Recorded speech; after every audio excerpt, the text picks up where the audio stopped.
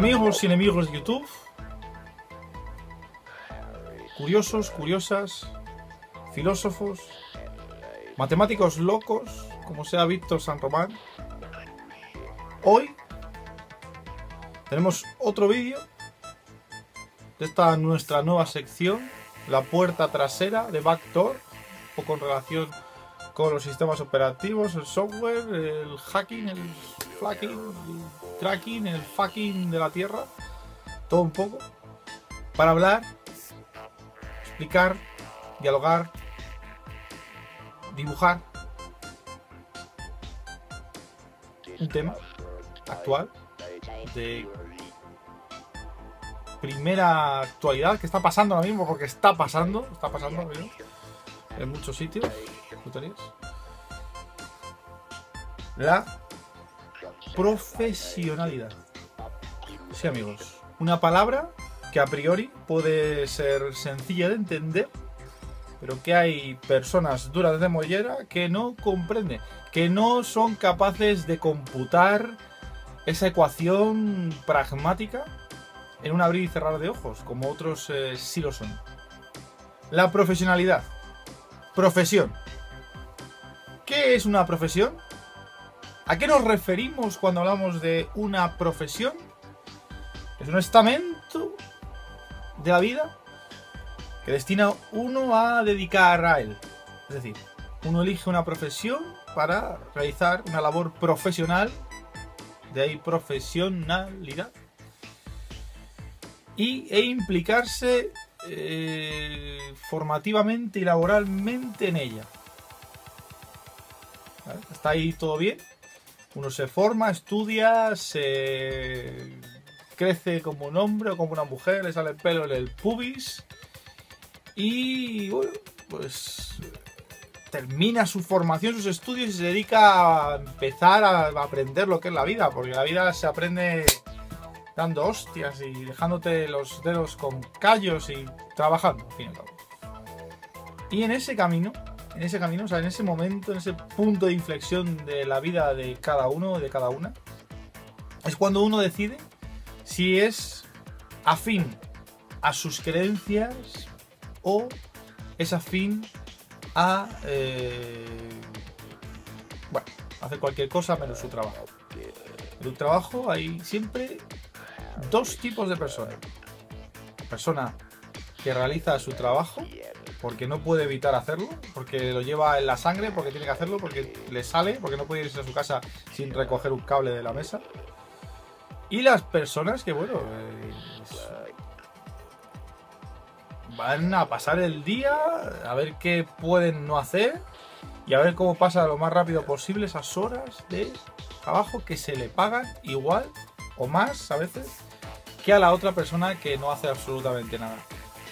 Muchas veces estas situaciones generan un estrés, un mal ambiente del trabajo, una, un clima de consternación, una mala hostia generalizada que, bueno, pues nos lleva hacia la desesperación, el ahogamiento, el suicidio, eh, los enfrentamientos, y que parece ser que nadie más que tú, si eres profesional, claro, lo ves. Profesionalidad. Bueno, podríamos definir la profesionalidad como esa inquietud que tiene uno dentro de sí mismo de hacer cada día su trabajo bien y un poquito más, quizás. Esa inquietud o ese, esa sensación de llegar a casa y pensar que quizás puedes hacer algo más mañana o esa sensación de haberte dejado algo sin hacer, o quizás simplemente esa humildad de la que ya hablamos anteriormente en el otro vídeo, esa, mm, ese juicio interno, ese juicio constructivo de uno mismo, de pensar que quizás, quizás, no lo haces todo tan bien como piensas. Profesionalidad es ayudar al compañero, profesionalidad es ser una persona íntegra y afín a los intereses de una profesión o de una empresa. Profesionalidad, al fin y al cabo, amigos, hermanos, enemigos, gente que visita este canal, suscriptores. La profesionalidad no es más ni menos que cumplir con tu trabajo y tu profesión, tu habilidad, todos y cada uno de tus días. Es no entorpecer el trabajo de otro compañero, respetarlo, ir de forma cauta, de puntillas, preguntar.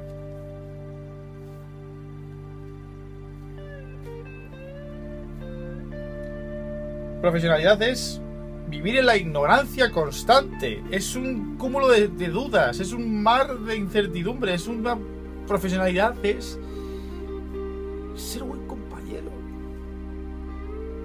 esmerarte, poner tu alma en las cosas, amigos.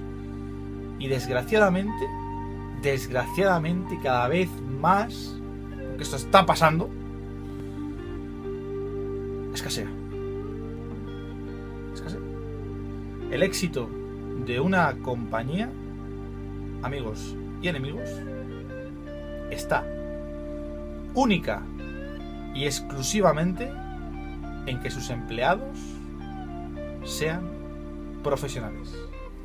Hasta aquí la reflexión de hoy. Os veo cuando a mí me salga de los cojones. No olvidéis suscribiros y darle a me gusta.